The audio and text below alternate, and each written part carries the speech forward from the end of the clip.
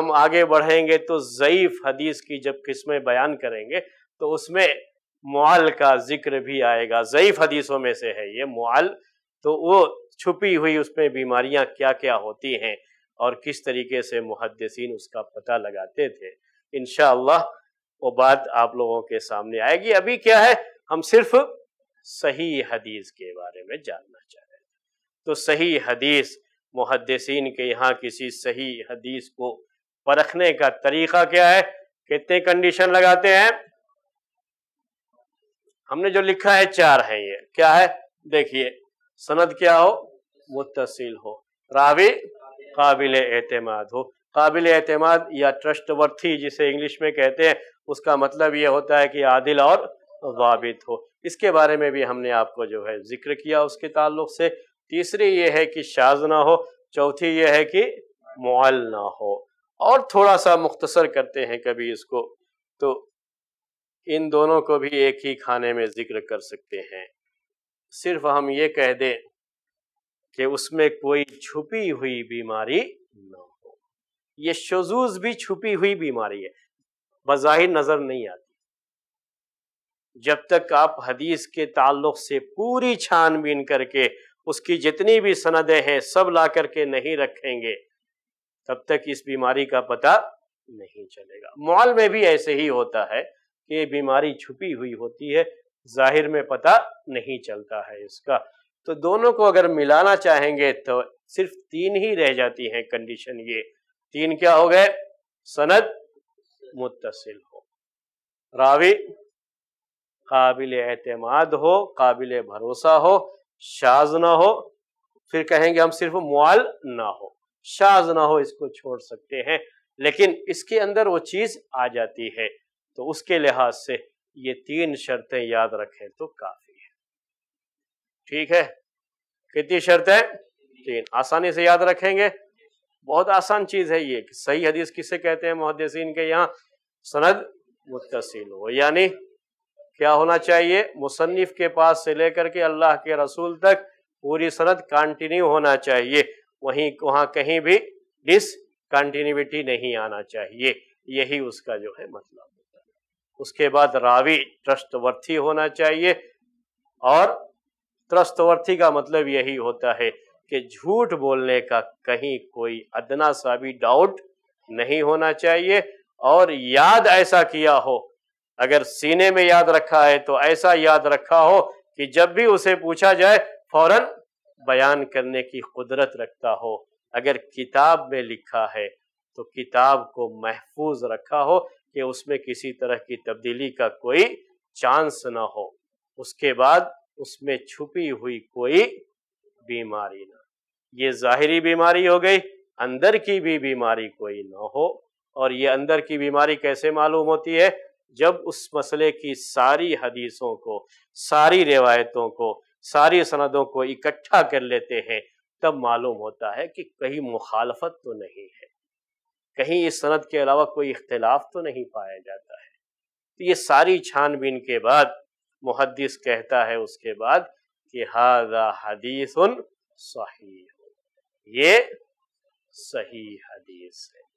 मैंने ज़िक्र किया था कि जो लोग भी कभी भी मुहदसिन के हुक्म लगाने के बाद शुबह करते हैं कि नहीं, अभी तो इंसान है ना, गलती कर सकते ऐसा हो सकता है ना, ऐसा हो सकता है। जो ये बातें, ये पॉसिबिलिटी जो बात कही जाती है ना, कि जो है, ये मुमकिन है, ये मुमकिन है मुहदसिन ये सारी चीज़ें सामने रखने के बाद ही, पूरी तहकीक के बाद ही हुक्म लगाते हैं कि ये हदीस सही है। इसीलिए जो लोग भी ये बात ज़िक्र करते हैं, इसका मतलब यह है कि उन्होंने सही से मुहदसिन के उसूल को पढ़ा नहीं है। वही लोग ये बात कह सकते हैं। और जिन्होंने वाकई मुहदसिन के उसूल को सही से पढ़ा है, वो कभी ये बात नहीं कह सकते कि ये जो है मुहदसिन सिर्फ़ रिवायत देखते थे, दिरायत नहीं देखते थे। ये सनत देखते थे, मतन नहीं देखते थे। ये कभी नहीं कहेंगे मैं अब आपको जो है, इन्हीं कंडीशनों के बारे में बोलता हूँ। देखिए अब ये पहली चीज़ क्या है, इसमें सनद मुतसिल हो, इसका ताल्लुक सनद से है। रावी काबिल एतमाद हो, इसका ताल्लुक भी किससे है? सनद से है। लेकिन ये जो दो शर्तें हैं कंडीशन है, शाज ना हो, मुआल ना हो, इसका ताल्लुक सनद से भी है मतन से भी ये बिल्कुल मुहदसिन पर बेजा इल्ज़ाम है कि वो हदीस पर हुक्म लगाने में सनद को देखते थे मतन को नहीं देखते थे, ये बेजा इल्ज़ाम इनको मतन से कोई मतलब नहीं था, ये बेजा इल्ज़ाम है। बगैर मतन को देखे, पढ़े, वो किसी हदीस पर हुक्म नहीं लगाते थे यहाँ तक कि मतन ही सिर्फ़ नहीं, यानी एक ही हदीस का मतन नहीं, बल्कि इस हदीस के जितनी भी रिवायतें हैं, बाज में थोड़ा इख्तलाफ होता है, कुछ कम, कुछ ज़्यादा होता है, सबको इकट्ठा करने के बाद, सबका जो है, वो जो है, मुताला करने के बाद, सबका मुकाबला करने के बाद, एक दूसरे के साथ, जो आज के जबान में कहा जाता है कि जो है, कंपेरिजन जो है करते हुए, उसके करने के बाद ही कहते थे आखिर में आकर के कि ये हदीस सही है, वरना वो बहुत जल्दी किसी हदीस के सही होने का हुक्म नहीं लगा। और ये जो उसूल है, ये पूरे तरीके से कहाँ से जुड़ा हुआ है? अक्ल से जुड़ा हुआ। ये पूरा लॉजिक है ये। कोई भी शख्स यही करेगा, इसके अलावा हट करके नहीं करेगा। इसीलिए किसी हदीस को सिर्फ़ इसलिए ठुकरा देना कि ये अक्ल में नहीं आती है बात, ये खुद क्या है? अक्ल को ठुकराना है। क्योंकि वो हदीस तो अक्ल ही की रोशनी में पूरे तरीके से अक्ल के मैार पर पूरी उतरने के बाद ही उसको सही करार दिया गया है। ये एक बात थी जो हमने आपके सामने पेश कर दी सही हदीस के बारे में। एक और जो है पहलू है गौर करने का, इस पर देखिए। सनद मुतसिल हो, इस कंडीशन का पाया जाना ज़रूरी है इसको कहते हैं। ये कंडीशन होनी चाहिए। ठीक है? पॉजिटिव है ये। ये होना ज़रूरी है। रावी काबिल एतमाद हो, ये होना ज़रूरी है। लेकिन ये कंडीशन शाज ना हो मुआल ना हो, ये कैसी है? इसका ना होना ज़रूरी है। होना ज़रूरी है, ना होना ज़रूरी है। जहाँ उन्होंने ये ज़रूरी करार दिया कि ये ये चीज़ें पाई जानी चाहिए। रावी के अंदर हो, सनद के अंदर हो, ये चीज़ जो है पाई जानी चाहिए। तो साथ में ये भी कि ऐसी कोई चीज़ भी नहीं होनी चाहिए जिससे उसकी सेहत मुतासर हो सकती है। तो ना होने वाली जो है, जो कंडीशन थी, उन्होंने वो भी लगाया। तो ये मनफी शर्तें हैं, ये मुस्बत शर्तें कहलाती हैं। दोनों का ख्याल करते हुए उन्होंने लगाया। ये हदीस, सही हदीस का पूरा तारुफ है आपके सामने।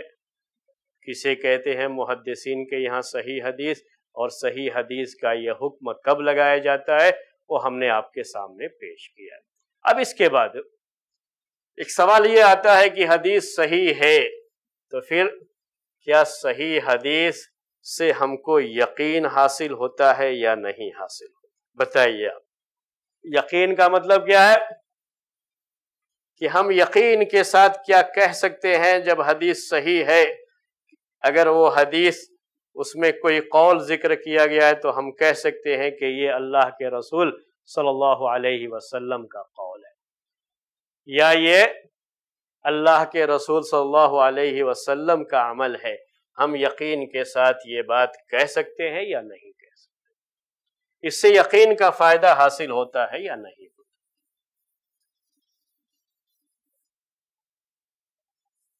जी, आपसे हम जवाब चाहते मुहदस ने कहा कि ये हदीस सही है तो हमें ये सुनने के बाद यकीन हासिल होना चाहिए कि नहीं? यकीन हासिल होना चाहिए। यही है? हाँ? सब बिल्कुल इत्तेफाक के साथ कहते हैं। इसको मुहदसिन के यहाँ ये टॉपिक ज़िक्र किया जाता है अरबी में। मा युफीदहु असही हो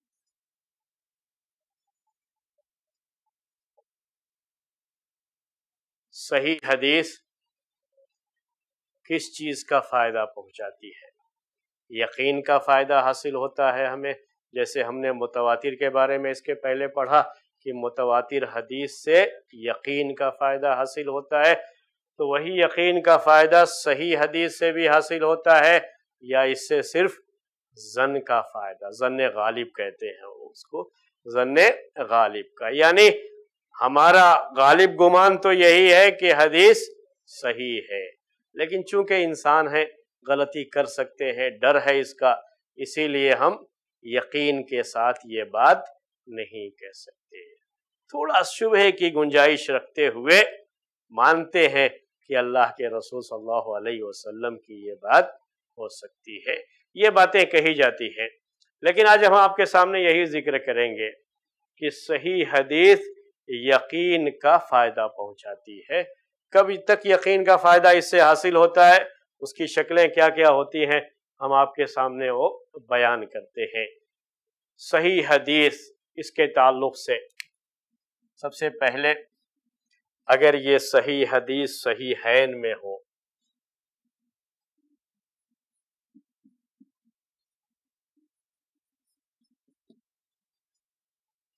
सही हदीस सही हैन में है। यानी सही बुखारी या सही मुस्लिम में अगर हदीस है। सेहत पर यकीन हासिल होगा।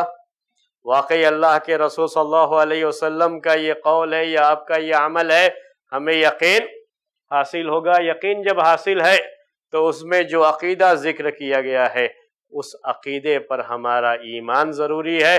अगर कोई अमल है तो अमल करना ज़रूरी होगा। उसे तस्लीम करना और वो अमल साबित माना जाएगा, उस पर अमल किया जाएगा, ये चीज़ भी है। ठीक है? तो सबसे पहले सही है इनकी हदीस। सही है इनकी हदीस, इसको क्या माना जाएगा? सही भी है और यकीन का फ़ायदा हमको हासिल होता है। यकीन का फ़ायदा हासिल होता है, इसका मतलब यह है कि किसी को इसमें किसी तरह का डाउट क्रिएट करने की कोई इजाज़त नहीं है। कोई इसमें शुभा अपनी तरफ़ से बयान नहीं कर सकता। अगर कोई बयान कर रहा है तो इसका मतलब है कि ये गलत है। सही है इनकी हदीसों का ये मकाम क्यों है? इसलिए कि उम्मत ने इस पर इजमा किया है कि इसकी हदीसें सही हैं, सिवाय उन चंद हदीसों के। जिसपे इमाम दारुकुतनी रहमत का कलाम है। अगर उसको निगाह अलग कर दे तो बकिया अहादीस पर उम्मत का इजमा है और उम्मत का इजमा होने की वजह से सही है। इनकी हदीसें, वो भी सही है। मुतवातिर है तो तो यकीन का फ़ायदा पहुंचाती ही है, लेकिन मुतवातिर नहीं भी है।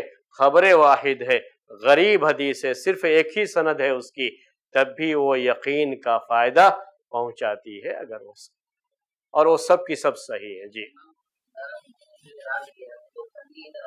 जी हाँ इसीलिए हमने कहा कि उनका जो नकद है बाज़ रिवायतों के ताल्लुक से, वो अपनी जगह पर जो है, वो चूँकि एक मुहदस थे और उनके लिहाज से उनको लगा कि जो है ये जो ज़िक्र किया है इमाम बुखारी या इमाम मुस्लिम ने, ये रिवायत उनके लिहाज से उस सनद के साथ सही नहीं है। जो उनका अपना एतराज़ है उसमें भी अगरचे की हक इमाम बुखारी और इमाम मुस्लिम रहमत के साथ है। हदीस सही है लेकिन हम इजमा की बात नहीं कह सकते। हम यहाँ क्या कह रहे हैं? इजमा की बात है। तो बकिया हदीसों पर क्या है? इजमा है। और जब उम्मत किसी भी हदीस की सेहत पर इजमा उसको इजमा में शामिल नहीं करेंगे क्या? क्योंकि वो तन्हा है ना। एतराज़ करने वाले वो तन्हा है और फनी एतराज़ है तो उसको हाँ। भी इजमा में नहीं इजमा नहीं कहेंगे फिर। कोई एक भी एतराज़ करने वाला हो और वो एतराज़ भी किसी मुहदस की तरफ़ से है तो फिर इजमा में नहीं कर सकते। उस फन का हो वो एतराज़ कर रहा है हाँ, वो एतराज़ कर रहा है। उस जमाने की बात है। इजमा होने से पहले एतराज़ का हक रहता है। इजमा होने के बाद एतराज़ का हक नहीं। ठीक है? तो ये उन्होंने जो बात कही है वो भी हक यही है।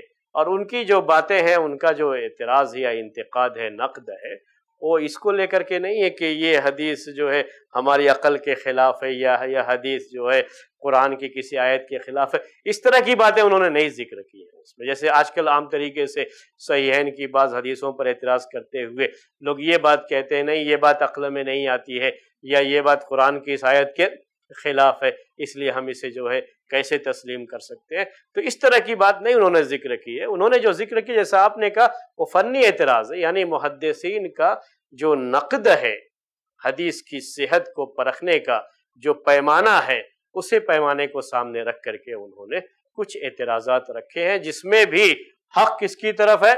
इमाम बुखारी और इमाम मुस्लिम रहमत की तरफ़। उसके बाद ये पहली किस्म है, इसको खास तरीके से जहन में रखिए कि सही है इनकी हदीस सही होती है और सेहत का फ़ायदा पहुंचाती है। इसमें वो हदीसें शामिल नहीं हैं।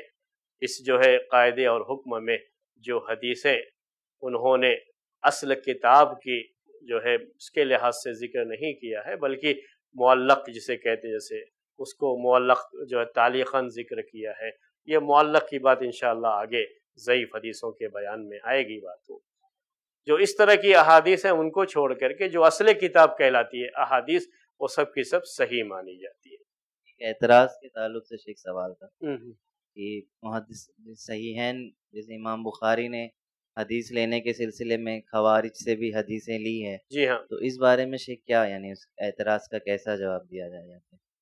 सबसे पहली बात हदीस के बारे में, हदीस के सही होने के बारे में जो पैमाना है, वो हमने आपके सामने ज़िक्र किया। है ना? क्या होना चाहिए सनद? मुतसिल होना चाहिए। रावी काबिल एतमाद। अगर कोई रावी ऐसा है, जिसके ऊपर कुछ इल्ज़ाम है, चाहे खवारिज होने का हो कदरिया होने का हो, जबरिया होने का मुख्तलिफ़ गुमराह फ़िरके थे तो उन ज़माने में एक गुमराह फ़िरके रावी हदीस भी थे ये, लोग इनसे रवायतें भी ज़िक्र की गई हैं। उन पर एक तरह का ये इल्ज़ाम था, या हकीकत में कुछ चीज़ रही भी हो, हम उसका इनकार नहीं करते, उसके बारे में बहस नहीं करते। लेकिन क्या है यहाँ पर? अहम चीज़ क्या होती है? उसका काबिल एतमाद अब खवारिज की बात आपने ज़िक्र की जैसे। मुहदसिन के यहाँ ये बात है कि खवारिज ने कोई हदीस वजह नहीं की है। यानी अपनी तरफ़ से उन्होंने फैब्रिक करके अल्लाह के रसूल वसल्लम की तरफ़ नस्बत कर दी हो, खवारिज ने यह काम नहीं खवारिज का अकीदा यह था कि बड़ा गुनाह करने वाला काफिर हो जाता और झूठ बोलना बड़ा गुनाह। इसलिए इनकी सच्चाई ये उस जमाने में इनकी सच्चाई हाँ। उस पर उनकी रिवायत पर एतबार। तो कोई अगर उस जमाने में मुक्तदे कहा जाता है, आज के जैसे बिदती होते हैं वो जहन में मत रखिए। वकीदे के लिहाज से, जैसे कदरिया, जबरिया वगैरह, ये बाज इस तरह की चीज़ें जो है उस ज़माने में हुई, बाज़ अच्छे लोग भी उससे कुछ जो है उसके झांसे में आए या मुतासर हुए, लेकिन वो थे काबिल एतमान यानी झूठ नहीं बोल सकते थे। उनसे झूठ का कोई मसला नहीं था। तो उनकी रिवायतें कबूल की गई ये भी तो ज़रूरी है ना कि किसी भी शख्स की रिवायत रद्द कर देना। अगर वो रिवायत सही है, फिर भी अगर आप रद्द कर रहे हैं तो ये हदीस रसूल को रद्द करना भी तो होगा। अहम चीज़ क्या थी?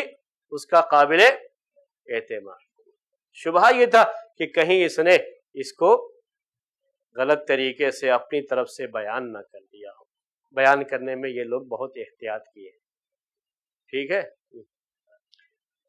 आम तरीके से आजकल सहीहन की हदीसों के ऊपर काफ़ी कलाम लोग करते रहते हैं, काफ़ी बात आती रहती है, इसलिए मैं ये पॉइंट खास तरीके से बार बार ज़िक्र कर रहा हूँ सहीहन की हदीसों पर कोई भी अगर कलाम करता है तो आप साफ़ साफ़ क्या कह दीजिए कि इसकी हदीसों पर इजमा है।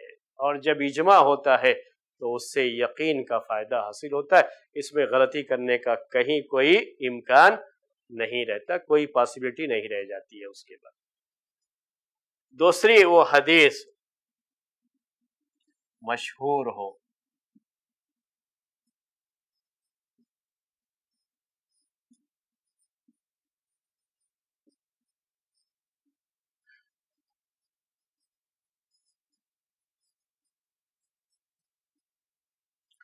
इससे भी यकीन का फ़ायदा हासिल होता है।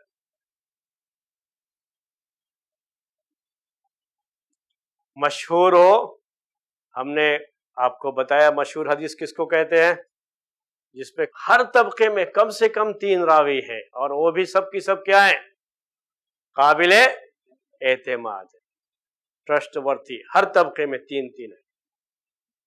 और सनद भी मुतसिल है। यह है सेहत के मैार पर पूरी उतर और उसमें कोई भी छुपी हुई बीमारी भी नहीं है।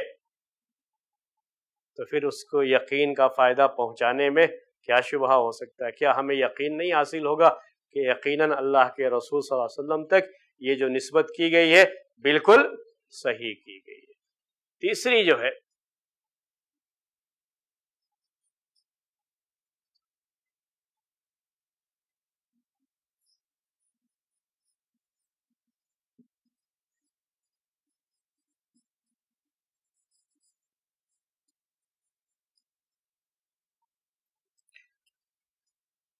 हदीस सही है और सही होने के साथ ये भी उसके साथ जुड़ा हुआ है।